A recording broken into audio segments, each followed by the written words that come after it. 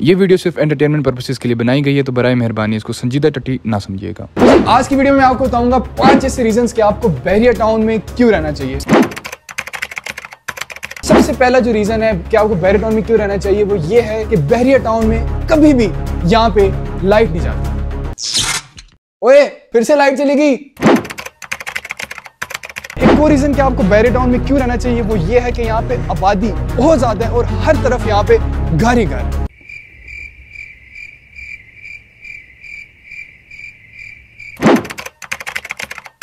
तो यार बैरे टाउन में रहने का एक बहुत बड़ा एडवांटेज ये है कि यार यहाँ पे आपको हर दो कदम पे ना कमर्शियल मिलेगा। यहाँ पे दुकान ही दुकान है।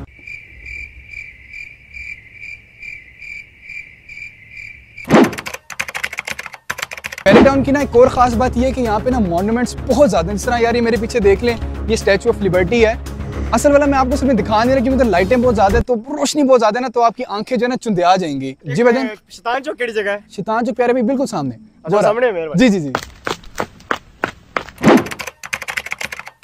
तो जी बैरियर टाउन में रहने का एक और बहुत बड़ा फ़ायदा है वो ये कि यार यहाँ पे जो सिक्योरिटी है ना बहुत टाइट होती है। दिन हो रात हो हर टाइम पे सिक्योरिटी की ना यहाँ पे गाड़ियाँ मंडरा रही होती हैं चल रही होती हैं और डकैती शिकैती का ना आपको कोई खतरा सिरे से है, है। दे। दे दे जल्दी कर। सुबह सुबह। जल्दी कर। क्या भाई बाइक तो बाइक तो छोड़ दे भाई। भाईजान भाई बाइक बाइक बाइक ओए ओए बाइक ओए ओए ओए। ये क्या हुआ ये तो ये तो प्लान का ऐसा ही नहीं था सच में।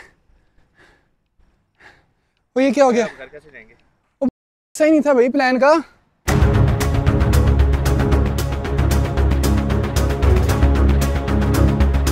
यार जी बैरी टाउन की एक और खास बात बड़ी है कि आपको यहाँ पे क्यों रहना चाहिए कि यार इधर दोबारा बनी? हाँ जी भाई, क्या हाल चाल है तुम कि रीजन नंबर एक, वो ये है कि बैरिया टाउन में कभी भी कभी भी यहाँ पे लाइट नहीं जाती। मेरे भाई, यहाँ पे